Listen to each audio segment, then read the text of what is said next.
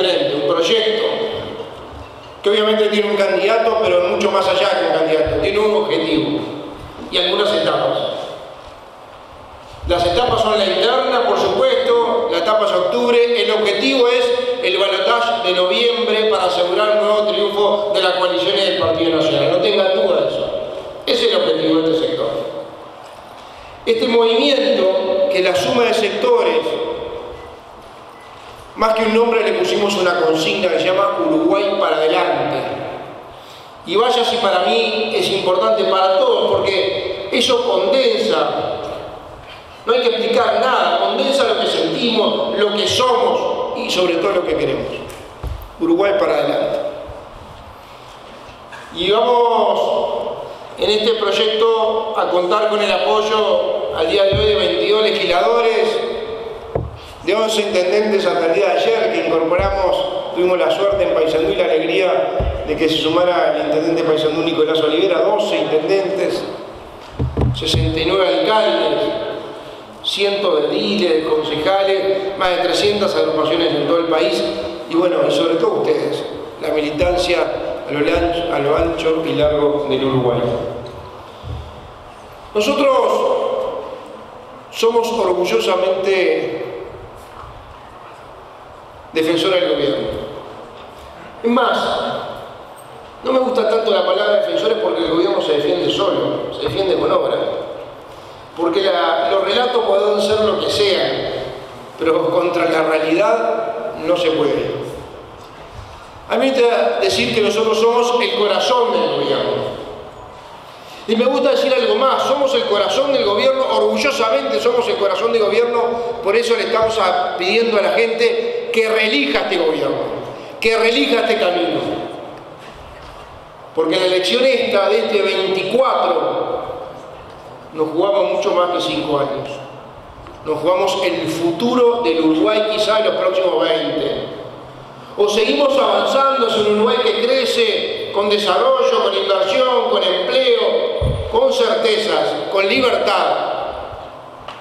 O retrocedemos a, a la peor versión de la oposición del Frente Amplio más radical, sin cortafuego, condicionada al ritmo de la dirigencia sindical politizada. Vaya si ejemplos hay. Y sobre todo que profundiza la brecha, divide entre buenos y malos, empareja para abajo y además lo único que hoy tiene para ofrecer en función de estos cuatro años de negarse a todo es incertidumbre. Yo creo que en este mundo tan convulsionado la gente obviamente va a votar a un gobierno que le dé tranquilidad.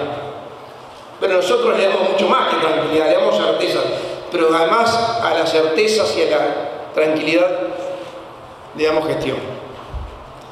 Y gracias a la gestión de este gobierno es que podemos proyectar el gobierno que viene y hacer las cosas que este gobierno no le da el tiempo para hacer, porque no es un gobierno cualquiera, es un gobierno que de hecho tuvo dos años, eh, los primeros dos años que no fueron operativos, va a tener tres de cinco. Este es el último año de gobierno, vaya, este año van a pasar cosas y se van a inaugurar cosas.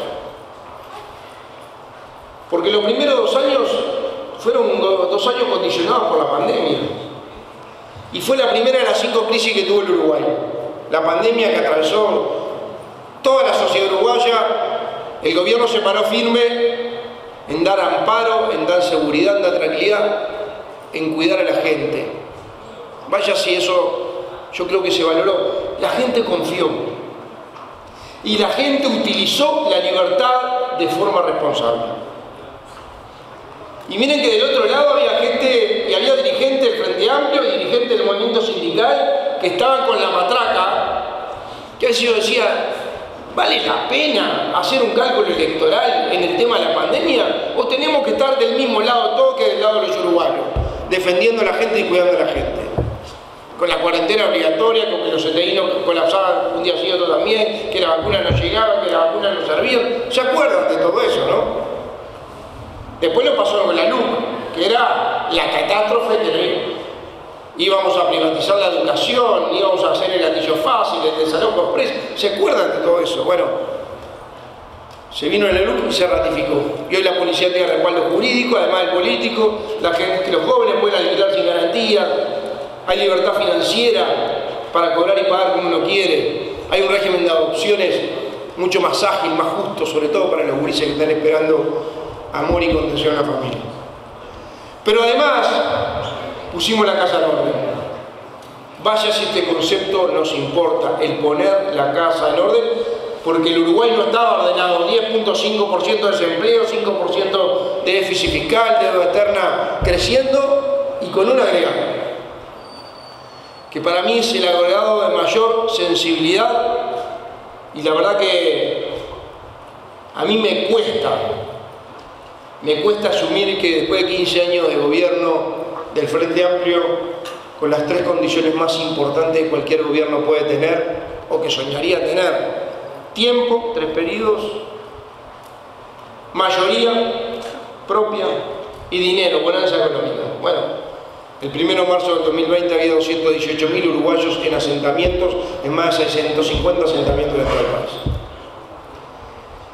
Y bueno, ¿qué hizo este gobierno? Además de poner la casa en orden, generó lo que había que hacer, que son la posibilidad de, encauzar la, economía. por favor. gracias, no me la vas a cobrar. No se le niega más, exacto. Encauzar la economía. Y la verdad que hay un esfuerzo grande, a Suena Arbeleche, Diego Labate, en encauzar la, todo el equipo económico, en encauzar la economía, ordenar la casa, poner el país de pie de vuelta. Y tuvimos un récord de crecimiento en el 22, un 5%, tres veces más que la media de América Latina. Y tuvimos además, y estamos teniendo un, récord de personas trabajando, 1.720.000 uruguayos trabajando, récord histórico. Hace 20 años que no hay esta inflación, un 5%, 5.11% de inflación. Bajó 4 puntos el informalismo. Crecieron las exportaciones. Y además de bajar el desempleo subió el salario real. Y además sorteamos las cinco crisis que yo le voy a relatar. La pandemia, la sequía del verano con todo el efecto del sector agropecuario, la guerra de Rusia y Ucrania, con todo el efecto del petróleo y los fertilizantes.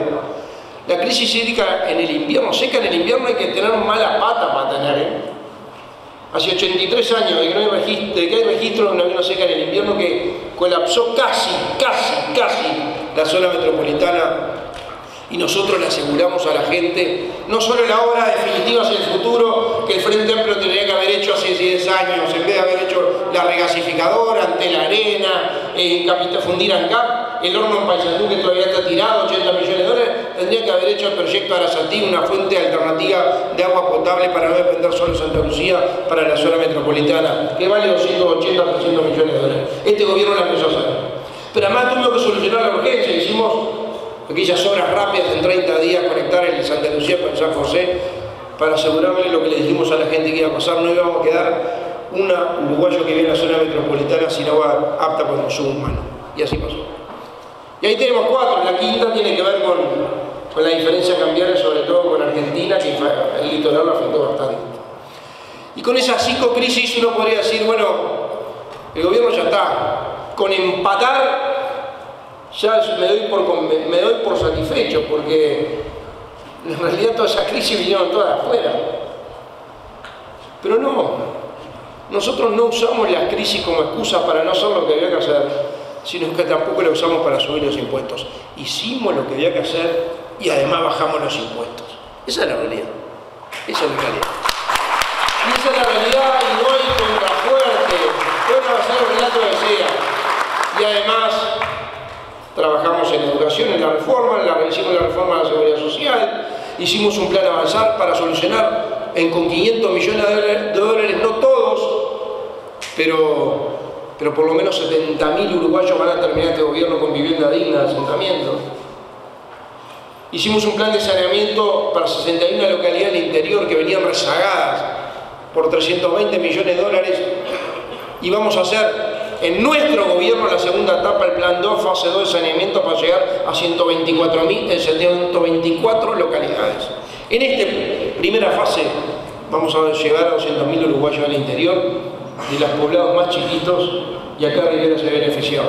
Tuvimos la obra pública más importante de los últimos tiempos, 3.600 millones de dólares. Y ustedes la ven acá en Rivera, ¿no? ahora se va a hacer la 30, están en la 27, pueden haber una cantidad de obras. ¿Eh? Puentes. Y puentes, eh, pero la verdad que el Uruguay está dado vuelta, como nunca se había hecho en la historia del Uruguay. Y además hay una concepción que para mí es muy importante y yo la quiero destacar acá, donde la intendencia es de la coalición pero no de nuestro partido. Hubo un gobierno nacional que trabajó con un concepto muy firme, transversal a todos los ministerios, a todos los entes autónomos y a todas las políticas públicas que es la descentralización. Y nosotros, que trabajamos con el Congreso Intendente y con el Congreso de Alcaldes todo el tiempo, los cuatro años que nos tocó estar en la Secretaría de la Presidencia, no solo nos comprometimos, sino que además aprendimos que la mejor forma de ejecutar gran parte de las políticas públicas con territorialidad, llegarle rápido a la gente, quien más sabe, quién tiene la necesidad ahí, son las intendencias y son las alcaldías y por eso aumentamos un 30% del Fondo de Desarrollo del Interior. Miren, los fondos de OPP para la Intendencia de Rivera durante este año 24 van a ser 23 millones de dólares para Rivera, para Tranquera, para Bichadero, para Mina de Corrales. Pero además lo hicimos con las alcaldías, lo hicimos en ACE. Hace siempre una cosa muy centralizada Montevideo. Hicimos el Hospital del Cerro, claro que sí que hace 30 años se, reclamaba. Pero después trabajamos en todas las policlínicas del interior y del interior profundo. Y acá en Rivera trabajamos en las policlínicas del interior. Hace poco tuve la inauguración de una nueva tranquera, sino que también hicimos obras en el hospital tan necesarias como la emergencia y la secretaría acá en el hospital de Rivera. Con ese concepto de centralización que también lo agarró la UTE llegando al 100% de electrificación rural, o Antel poniendo bases para que todo el interior tuviera conexión a internet y hace poco antes de irme inauguramos el último, en Colonia La Valleja, el último centro educativo público que no tenía internet. A partir de ahora todos los centros educativos del país tienen internet. Tiene que ver con la igualdad de oportunidades.